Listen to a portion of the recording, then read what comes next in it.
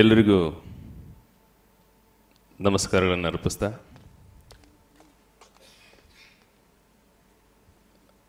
ವೈದ್ಯ ನಗುಮುಖ, ರೋಗಿ ಗುಣಮುಖ ಎನ್ನುವ ಮಾತು. ಯಾವುದೇ ಪೇಷಂಟ್ ಎಷ್ಟೇ ಟೆನ್ಷನ್ ತೊಗೊಂಡು ಒಳಗೆ ಬಂದರು, ನಿಮ್ಮ ನಗುಮುಖ ಮೊದಲು ಕೊಡುವ ಚಿಕಿತ್ಸೆ. ಹೀಗಾಗಿ ಅದನ್ನು ತಾವು ರೂಢಿಸಿಕೊಂಡಿರೋ ಸಂದರ್ಭದಲ್ಲಿ ನಿಮ್ಮ ನಗುವನ್ನು ಮತ್ತು ಸ್ವಲ್ಪ ಜಾಸ್ತಿ ಮಾಡ್ತಕ್ಕಂಥ ಪ್ರಯತ್ನವನ್ನು ಕೆಲವೊಂದು ಸಂದರ್ಭಗಳನ್ನು ನಾ ಬಳಸ್ಕೊಳ್ತೀನಿ.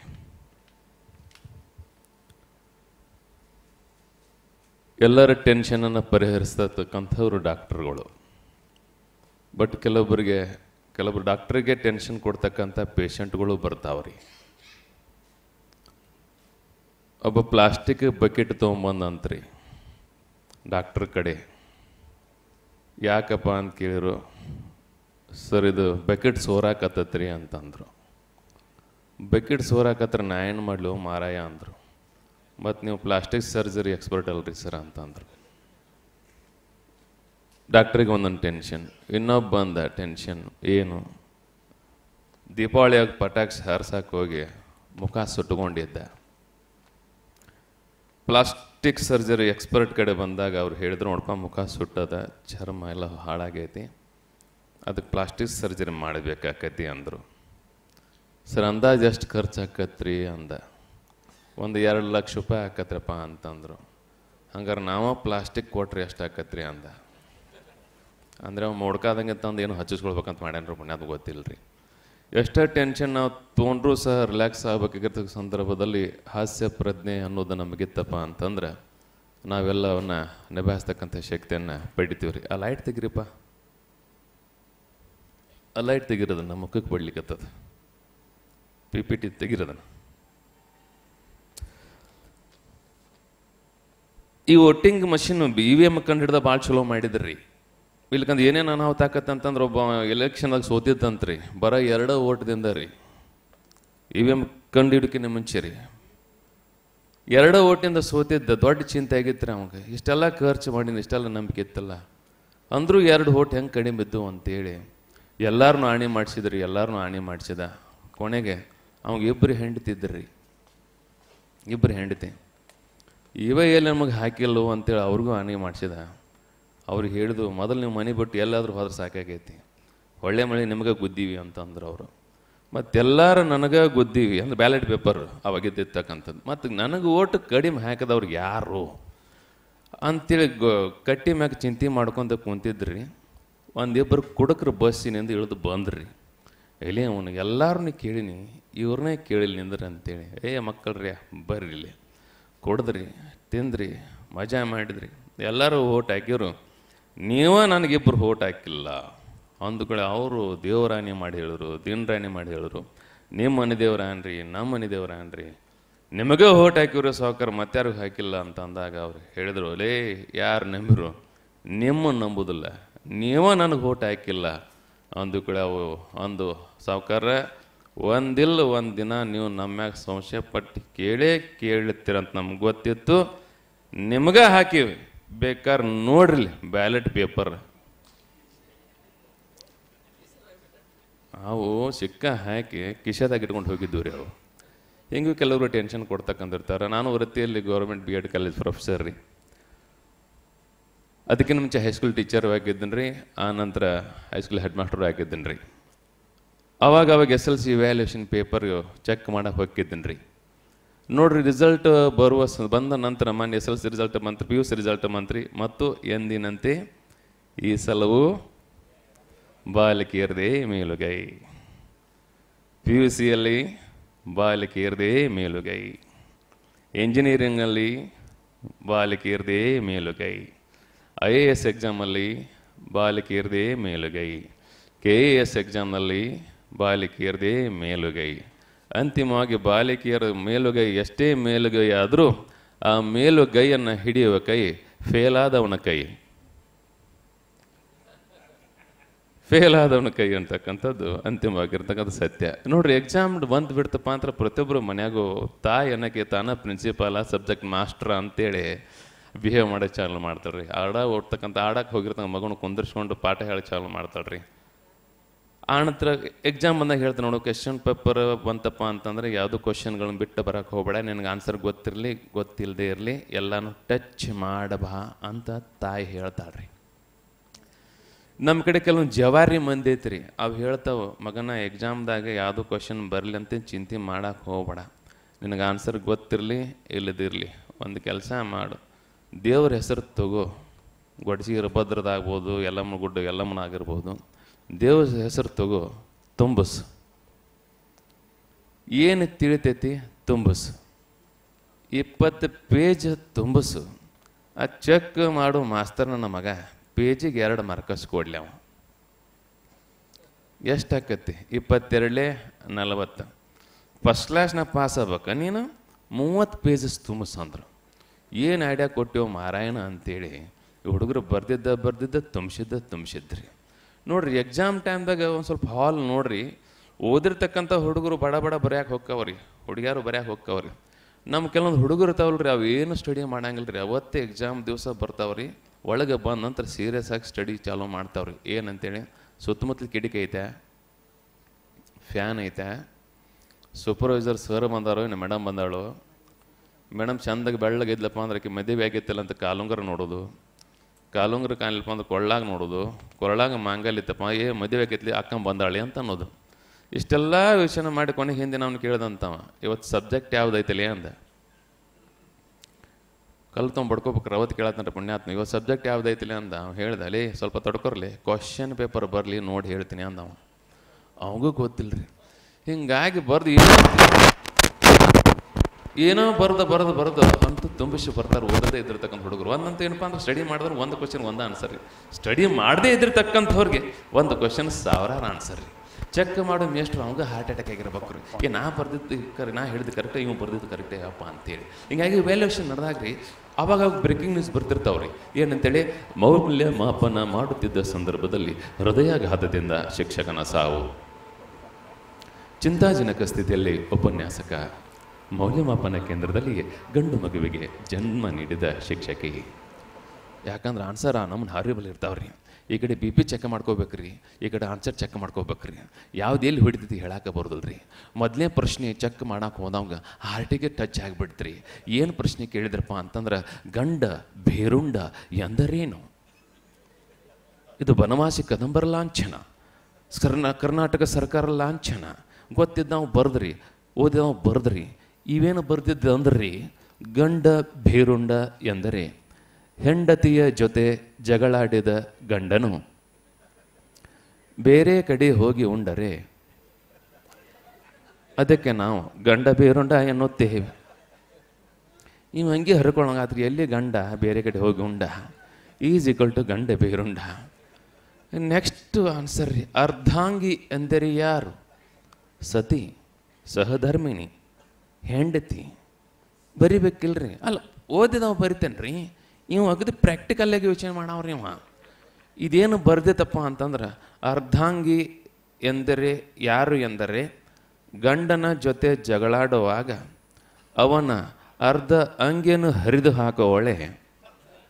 ಅರ್ಧಾಂಗಿ. ಬರಬ್ಬರ್ರಿ ಅಕಸ್ಮಾತ್ ಹರ್ಲ ಅಂದ್ರೆ ಈ ಪ್ಯಾಕೆಟ್ ಅಂಗಿ ಆ ಕಡೆ ಹೋಗಿರ್ತೈತೆ ರೀ ನೆಕ್ಸ್ಟ್ ಇದಕ್ಕಿಂತ ವಿಭಿನ್ನವಾಗಿರ್ತಕ್ಕಂಥ ಒಂದು ಕ್ವಶನ್ ಕೇಳಿದ್ರಿ. ಏನು? ಸರ್ವೇ ಜನ ಸುಖಿನೋ ಭವಂತು. ಏನ್ರಿ? ಸರ್ವೇ ಜನ ಸುಖಿನೋ ಭವಂತು. ಓದಿದವ ಏನು ಬರಿತಾನ್ರಿ? ಸರ್ವ ಜನರು ಸುಖವಾಗಿರಲಿ ಅಂತ ಹೇಳುವುದೇ ಈ ಒಂದು ಶ್ಲೋಕದ ಅರ್ಥ. ಇವ ಬ್ಯಾರೆ ಬರ್ತಿದ್ರಿ ಸರ್ವೇ ಜನ ಸುಖಿನೋ ಭವಂತು ಎಂದರೆ ಆರೋಗ್ಯ ಇಲಾಖೆ, ಶಿಕ್ಷಣ ಇಲಾಖೆ, ಕಂದಾಯ ಇಲಾಖೆ ಈ ಮೂರು ಇಲಾಖೆಯವರು ಯಾವಾಗಲೂ ಸುಖವಾಗಿರಬಾರದು. ಕೇವಲ ಸರ್ವೇ ಇಲಾಖೆಯವರು ಮಾತ್ರ ಸುಖವಾಗಿರಬೇಕೆನ್ನುವುದೇ ಸರ್ವೇ ಜನ ಸುಖನೋ ಭವಂತು. ಎಷ್ಟು ಪ್ರಾಕ್ಟಿಕಲ್ ಯೋಚನೆ ಮಾಡ್ತಾರೆ ಅಂತಂದ್ರೆ ಇನ್ನೊಂದು ಕ್ವಶನ್ ಕೇಳಿದ್ರಿ. ಆನೆಗೂ ನೆಗು ಮತ್ತು ನೊಣಕ್ಕೂ ಇರೋ ವ್ಯತ್ಯಾಸವೇನು? ಆನೆಗೂ ಮತ್ತು ನೊಣಕ್ಕೂ ಇರೋ ವ್ಯತ್ಯಾಸ. ಆನೆ ಪ್ರಾಣಿ ಪ್ರಪಂಚ. ನೊಣ ಕೀಟ ಪ್ರಪಂಚ. ಓದಿದವ ಬರಿತೇನೆ ರೀ ಪ್ರಾಕ್ಟಿಕಲ್ಲಾಗಿ ಯೋಚನೆ ಮಾಡೋ ಬರೆದಿದ್ದರಿ ಏನಂತೇಳಿ? ಅವನಿಗೂ ಮತ್ತು ನೊಣಕ್ಕೂ ಇರುವ ವ್ಯತ್ಯಾಸವೇನೆಂದರೆ, ನೊಣವು ಆನೆಯ ಮೇಲೆ ಹತ್ತಿ ಕುಳಿತುಕೊಳ್ಳಬಹುದು.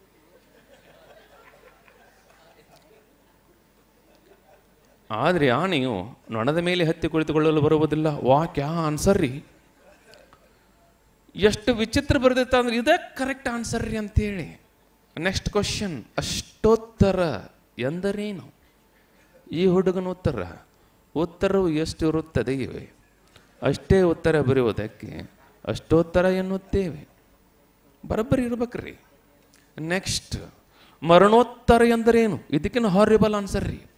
ಮರಣೋತ್ತರವೆಂದರೆ ಉತ್ತರವನ್ನು ಬರೆಯುತ್ತಾ ಬರೆಯುತ್ತಾ, ಸತ್ತೇ ಹೋಗುವುದಕ್ಕೆ. ನೀವು ಬರ್ಕೊಂತ ಬರ್ಕೊಂತ, ನೀವು ಸಾಯೋದಲ್ರಿ ಚಾಕ ಮಾಡ್ಕೊಂಡು ನಮ್ಮಂತರ ಸತ್ತು ಹೋಗ್ತೀವ್ರಿ. ನೆಕ್ಸ್ಟ್ ಕ್ವಶನ್ ಉತ್ತರಾಧಿಕಾರಿ ಎಂದರೆ ಯಾರು? ಇದು ಬರೆದಿತ್ರಿ. ಉತ್ತರಾಧಿಕಾರಿ ಯಾರು ಎಂದರೆ ಪರೀಕ್ಷೆಯ ಸಂದರ್ಭದಲ್ಲಿ ಉತ್ತರ ಹೇಳಿಕೊಡುವ ಅಧಿಕಾರಿಯೇ. ಹೊಸ ಪೋಸ್ಟ್ ಸ್ಯಾಂಕ್ಷನ್ ಮಾಡಿದ್ರು ಪುಣ್ಯಾತ್ಮವ. ಎಷ್ಟು ಪ್ರಾಕ್ಟಿಕಲ್ಗೆ ಯೋಚನೆ ಮಾಡ್ತಾರಪ್ಪ ಅಂತಂದ್ರೆ ನೆಕ್ಸ್ಟ್ ಏನಂತಂದ್ರೆ ಮಳೆಗಾಲದಲ್ಲಿ ಮಿಂಚು ಮೊದಲಿಗೆ ಕಾಣಿಸುತ್ತದೆ. ತದನಂತರದಲ್ಲಿ ಗುಡುಗು ಕೇಳಿಸುತ್ತದೆ. ಏಕೆ?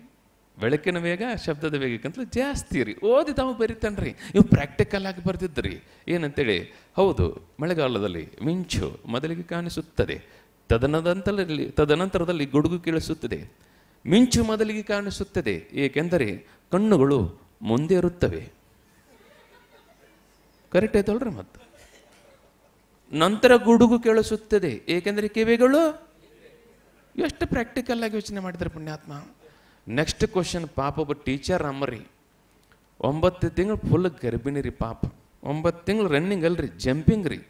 ಈಗ ಹಾಕತ್ತೋ, ಇನ್ನೊಂದು ಸ್ವಲ್ಪ ನಿಂತು ಹಾಕತ್ತೋ ಅನ್ನೋ ಟೈಮ್ದಾಗ ಯಾಕೆ ರಜಾ ಹಾಕೊಂಡು ಮನೆಗೆ ಹೋಗ್ಬೇಕಾಯ್ತು ರೀ ಮೆಟರ್ನಿಟಿ ಲೀವ್ ಅಂತಾರೆ ವ್ಯಾಲ್ಯೂಷನ್ ಆರ್ಡರ್ ಬಂತು ರೀ ಎಷ್ಟೋ ಪ್ರಯತ್ನ ಮಾಡ್ರು ತಪ್ಪಿಸೋಳಕ್ಕೆ ಆಗಲಿಲ್ಲ ರೀ ನನ್ನ ಕರ್ಮ ಅಂತೇಳಿ ಪಾಪ ಆಯಾಸ ಪಟ್ಟಕೊಂತ ಕೆಳಗೆ ಕುಂತ ಒಂದೊಂದು ಆನ್ಸರ್ ಚೆಕ್ ಮಾಡ್ತಿರ್ಬೇಕಾರೆ.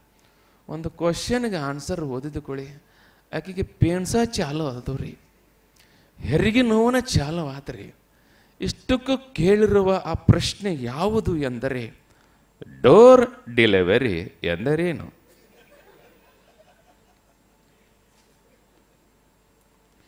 ಡೋರ್ ಡೆಲಿವರಿ ಎಂದರೇನು? ಹುಡುಗ ಪ್ರಾಕ್ಟಿಕಲ್ಲಾಗೆ ಬರ್ದಿತ್ರಿ.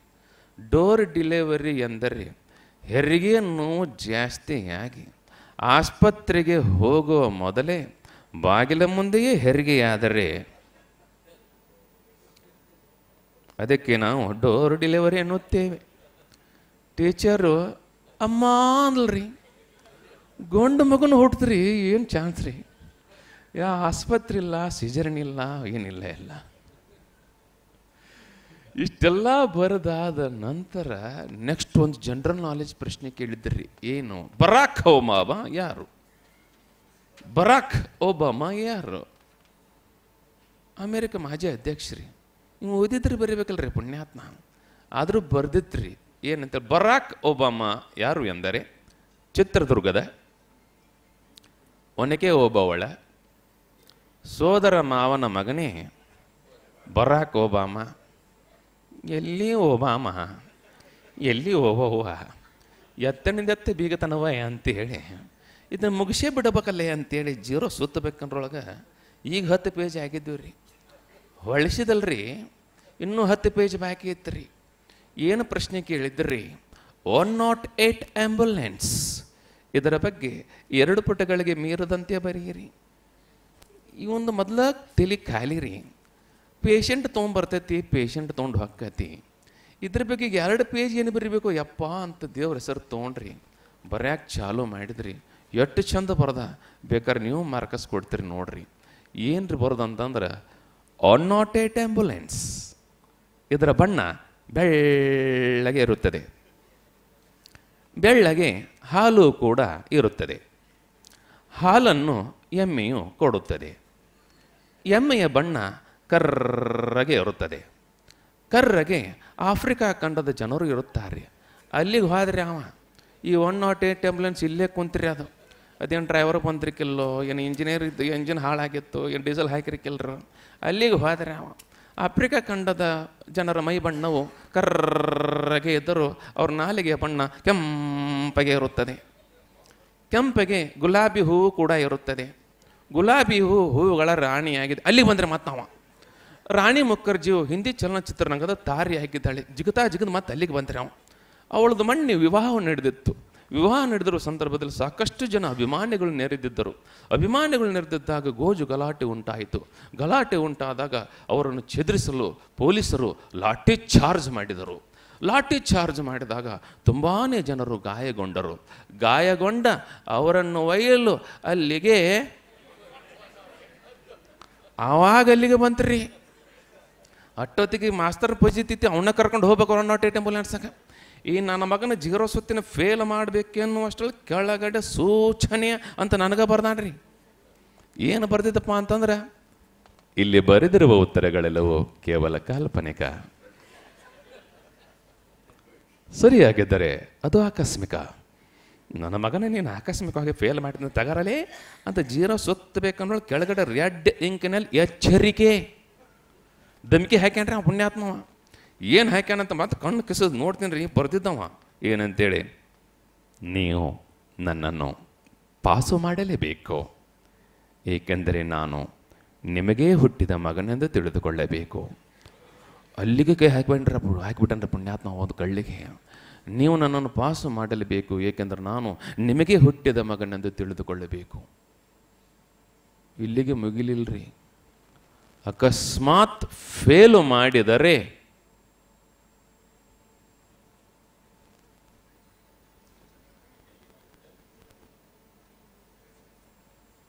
ಅಕಸ್ಮಾತ್ ಫೇಲು ಮಾಡಿದರೆ ನೀವು ನನಗೇ ಹುಟ್ಟಿದ ಮಗನೆಂದು ನಾನು ತಿಳಿದುಕೊಳ್ಳುತ್ತೀನಿ.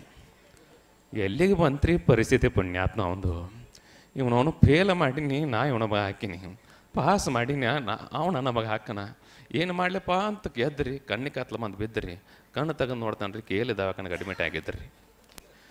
ಇಷ್ಟೆಲ್ಲ ಬರೋದಾದ ನಂತರ ಹುಡುಗರ ನಿರೀಕ್ಷೆ, ನಂದು ಪಾಸ್ ಆಗತೈತೆ ಅಂತೇಳಿ ಆದ್ರೆ ಬಂಡತನ ಇದ್ದಿರತಕ್ಕಂಥ ಪಾಸ್ ಆಗಿರುವ ಆಗಿರುವ ನಿರೀಕ್ಷೆಯ ಸಂದರ್ಭದಲ್ಲಿ ಏನು ಚೆಕ್ ಮಾಡೋ ಏನು ಹುಚ್ಚ ಆಗಿರಂಗಿಲ್ಲ ರೀ ಆ ಅವನು ಶಾನೆ ಇರತ್ತಾನೆ ರೀ ಫೇಲ್ ಆಗಿರ್ತಾವೆ. ಫೇಲ್ ಆದ ನಂತರ ಹುಡುಗರು ರಿಯಲೈಸ್ ಮಾಡ್ಕೊತಾವ್ರಿ. ಮೊನ್ನೆ ಆಂಧ್ರ ಪ್ರದೇಶದಾಗ ನೋಡ್ರಿ. ಹತ್ತೊಂಬತ್ತು ಜನ ಪಿ ಯು ಸಿ ರಿಸಲ್ಟ್ ನೋಡಿ ಹುಡುಗರು ಕಲಾಸ ಆದವು. ಇಲ್ಲೇ ಬೆಳಗದಾಗ ಮೂರು ಹುಡುಗರು ಕಲಾಸ ಆದವು. ಅಲ್ಲ ಎಜುಕೇಷನ್ ಅಂದ್ರೆ ನಮ್ಗೆ ಬೆಳಕಾಗಬೇಕು ಇವನ ಅದು ನಮ್ಗೆ ಕೊಲ್ಲಬಾರ್ದು ಅಕಸ್ಮಾತ್ ಫೇಲ್ ಆದಪ್ಪ ಅಂದ್ರೆ ನೆಕ್ಸ್ಟ್ ಚಾನ್ಸ್ ಐತೆ ಐತಿ ಅಂತಕ್ಕಂಥ ಭರವಸೆ ತುಂಬತಕ್ಕಂಥ ಪೇರೆಂಟ್ಸ್ ನಾವು ಆಗ್ಬೇಕ್ರಿ. ಯಾವಾಗ ರ್ಯಾಂಕ್ ತೊಗೊಂಡಿರ್ತಕ್ಕಂಥ ಹುಡುಗಿಗೆ ಶಾಲು, ಸನ್ಮಾನ ಹೊದಿಸಿ ಸತ್ಕಾರ ಮಾಡೋ ಸಂದರ್ಭದಲ್ಲಿ ಫೇಲ್ ಆಗಿರ್ತಕ್ಕಂಥ ಹುಡುಗನ ಹೆಗಲ ಮೇಲೆ ಚಿಂತೆ ಮಾಡೋಕೆ ಹೋಗ್ಬಾರ್ದಮ್ಮ ಇವನಕ್ಕಿಂತ ಮುಂದೆ ಗೆಲ್ತಿ ಅಂತಕ್ಕಂಥ ಭರವಸೆ ನೀಡ್ತಕ್ಕಂಥ ಭರವಸೆಯನ್ನು ತುಂಬತಕ್ಕಂಥ ನಾವು ನೀವು ಆದ್ರೆ ಹುಡುಗರು ಖಂಡಿತವಾಗಿ ದೊಡ್ಡದಾಗಿರ್ತಕ್ಕಂಥ ಸಾಧನೆ ಮಾಡ್ತಾನೆ ರೀ ಈ ನಾಡನ್ನು ಕಟ್ತಕ್ಕಂಥ ದೊಡ್ಡದಾಗಿರ್ತಕ್ಕಂಥ.